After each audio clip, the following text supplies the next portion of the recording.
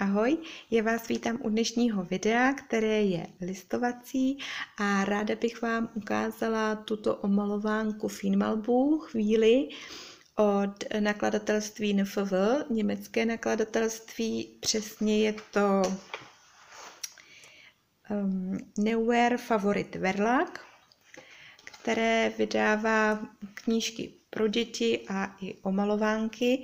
Já jsem od tady toho nakladatelství viděla omalovánku u Andrejky na kanálu Alu, která si pořídila princezny. A tak jsem viděla, viděla jsem i víly, které by se mi líbily, ale ty bohužel nebyly skladem, ale byly skladem tyto víly, takže jsem je hodila do košíku protože i cena byla příznivá 135 korun, takže jsem váhala, ale nakonec jsem je pořídila, protože jsem i nikde listování neviděla, ale když přišli, tak jsem z ní byla nadšená. Takže ráda bych vám ji ukázala a třeba se vám zalíbí a třeba si ji taky pořídíte. Tak, jdeme na listování.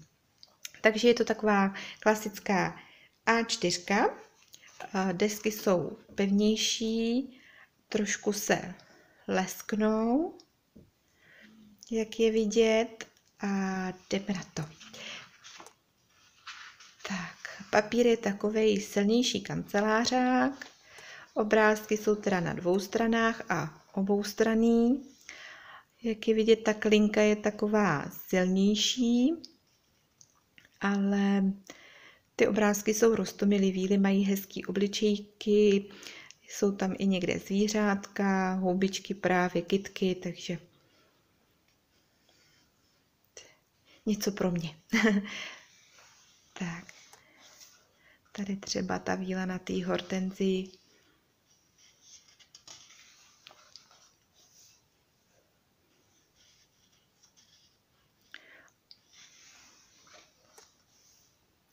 Obrázky jsou takový větší, i ty kitky, tak třeba kdo rád nějakým jiným médiem než pastelkami, tak se mu zalíbí prostor i pro pozadí.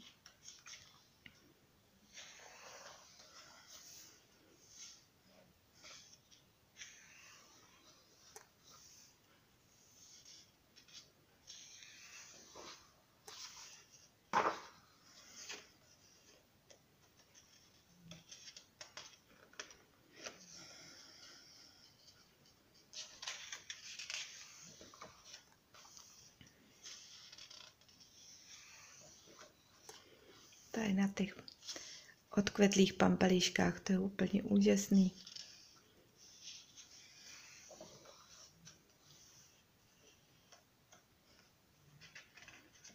Úplně jako dětská knížka mi to teda nepřijde. Tady ten ptáček.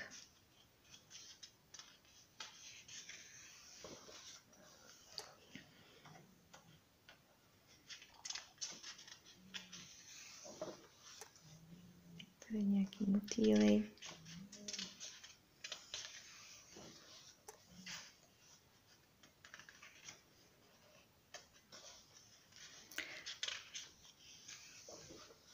Zatím je prázdná, zatím jsem do ní neskoušela malovat.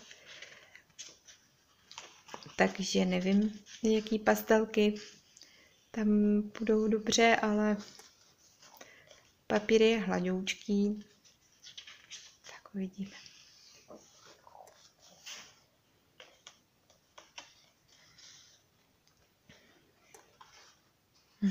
Tady ty bačkorky pro zvonilku s bambulkou. Ty určitě budou zelený.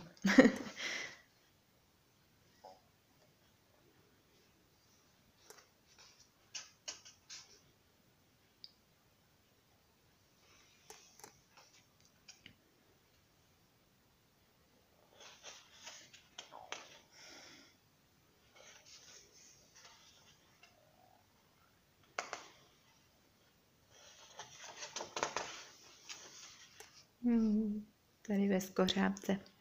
Velké mytí.